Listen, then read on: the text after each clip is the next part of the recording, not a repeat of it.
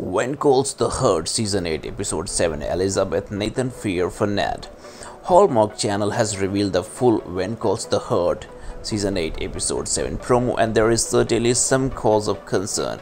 If you love the character of Ned you obviously have to be worried about what's said to happen to him. He is in the infirmary and this promo makes it clear that everyone in Hope Valley is concerned for him regardless of if you are team Nathan or team Lucas it feels like both of these characters are going to have their fair share of moments with Elizabeth. It isn't so much about romance here though as it is care. They're concerned for Ned and they certainly want to make sure that Erin Krakow's character is cared for in this difficult time. Nathan makes a comment at the end of the promo that shows exactly how much he cares for Elizabeth and we view that as yet another reminder that he is far from out of the picture here. We certainly believe that he's going to still do his part to show that he loves her and this makes the love triangle far from over.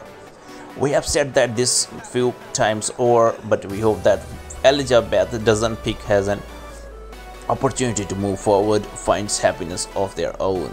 This isn't one of those situations where there is a bad choice in the mix. Lucas and Nathan are both great men just in different ways. For the time being, though making sure Ned is okay is top priority it has to be as we were talking about a beloved member of Hope Valley. The town is great because of the people and they all contribute something towards making it feel all the more special. So if you want to get more updates about it, what you can do, uh, I'll tell you that as well. So what do you most want to see when it comes to When Calls the Heart Season 8 Episode 7? Have any special hopes for Elizabeth?